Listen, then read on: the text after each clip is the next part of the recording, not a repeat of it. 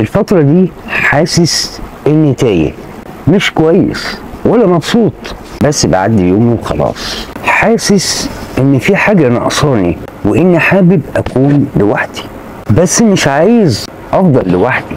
ما بقتش أصدق أي حد. وثقتي في الكل تقريبا بقت شبه معدومة.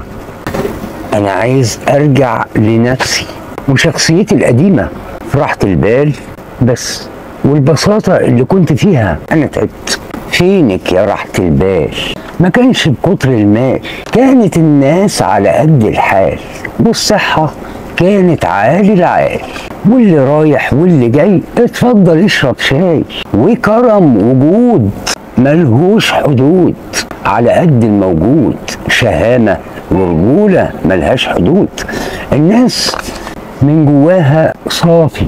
والبركة والخير كان فايض وكافي والحب بين الناس كان وافي.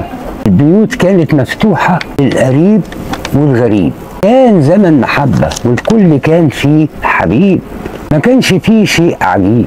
كانت الإيد في الإيد. ما كانش فيه حد عن حد بعيد. وكان يا مكان رجعونا هناك وسيبونا. فاتكم كتير. كبرت أمهاتكم وأنتم لا تشعرون غادر أحبتكم دون أن تنتهوا. ضاعت فرص كتيرة وأوقات ثمينة عليكم وأنتم لا تعلمون. صلوات وسنن. حقيقة موجوعة عارفين السبب إيه؟ الإنترنت. سلب مننا حياتنا الحقيقية. وخدنا إلى حياة وهمية بائسة. برغم المطورين على مواقع التطبيقات ومنصات التواصل الاجتماعي بينصحوك إنك لازم تريح نفسك واحرص على صحتك. واليوتيوب وجميع منصات التواصل الاجتماعي دايما بيقول لك لازم تاخد قسط من الراحة. بمعنى إن الإنترنت نفسه بينصحنا لكن شغلنا عيوننا بالهواتف عوض رؤية وجوه أمهاتنا وآبائنا وأحبابنا.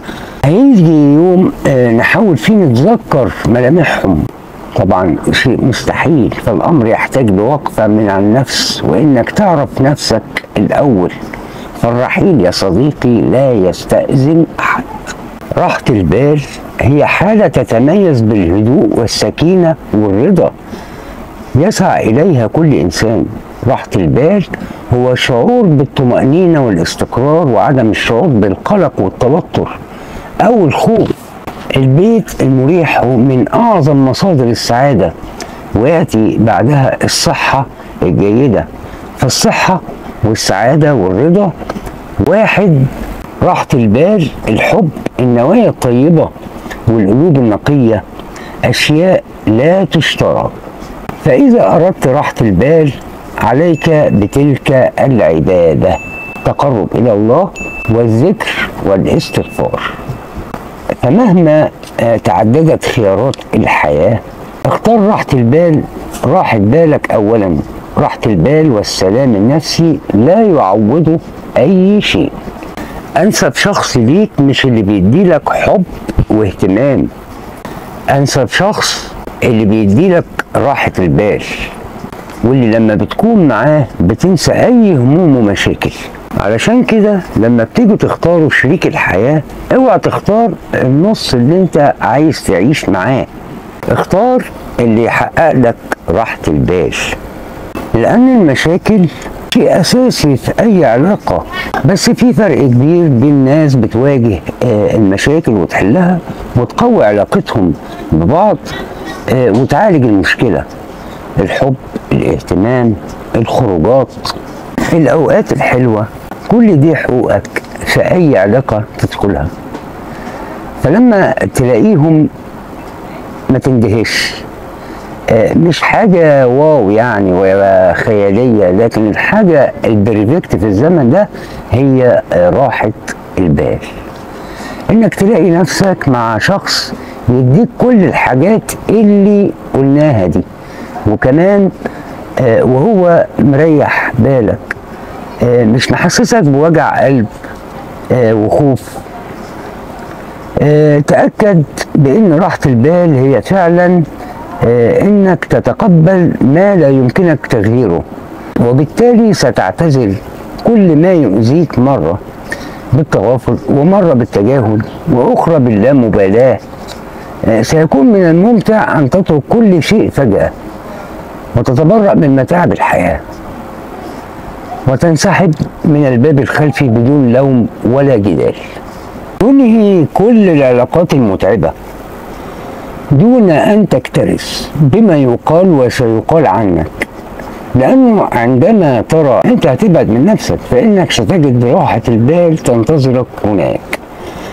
لذلك التجاهل من أجل راحة البال دلالة واضحة على الذكاء العالي لدى الشخص وكأن الشخص بيقول أعلم كل شيء ولكن لا أسمع ولا أسمح لأي شيء بأن يعكر صفوي ومزاجي.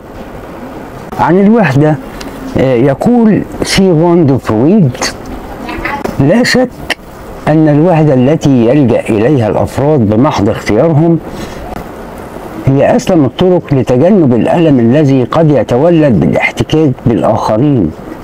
فلا شك أن السعادة التي يعثر عليها من يفضل طريق العزلة هي سعادة راحة البال. ويقول ديستو يوفسكي آه، جرب أن تظل وحيدا لفترة طويلة. ستجد أن البشر بلا أي فائدة حقيقية. سوى إنهاكك في تفاهات سطحية لمشاكلهم النفسية طوال حياتك. ويقول جبران خليل جبران طلبت الوحدة والانفراد آه، لأنني لم أحصل على شيء من يد بشري إلا بعد أن دفعت ثمنه من قلبي. ويقول كارل يونغ الوحدة خطيرة ومن السهل أن تتحول إلى إدمان. عندما تدرك كم السلام هناك فلن ترغب في التعامل مع الناس مجددا.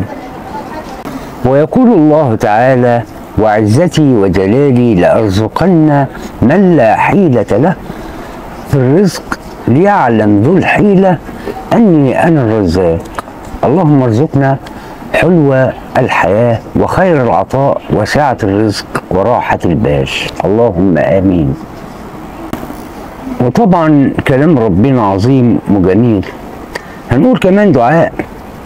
راحة البال لا إله إلا الله الحليم الكريم. لا إله إلا الله العلي العظيم. لا إله إلا الله رب السماوات السبع ورب العرش العظيم. ربي إني أسألك أن تريح قلبي. وفكري وأن تصرف عني شتات العقل والتفكير. رب إني في قلبي أمور لا يعرفها سواك فحققها لي يا كريم. ربي كن معي في أصعب الأمور وأرني عجائب قدرتك في أصعب الأيام. اللهم آمين. شكرا لكم والسلام عليكم.